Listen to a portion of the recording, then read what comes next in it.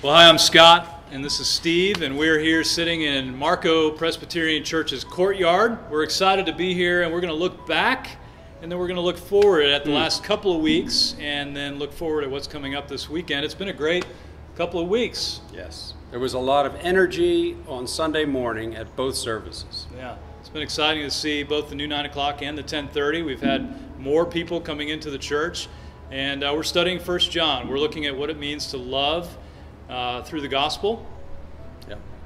I, I said to somebody Sunday morning, I had a sense that everybody w- that was there wanted to be there.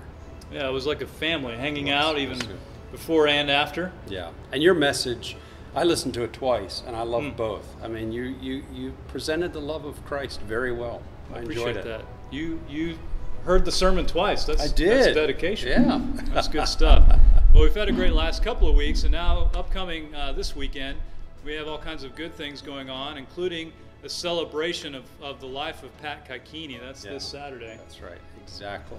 And then Tuesday, Scott, we got two biggies. Yeah, what's that?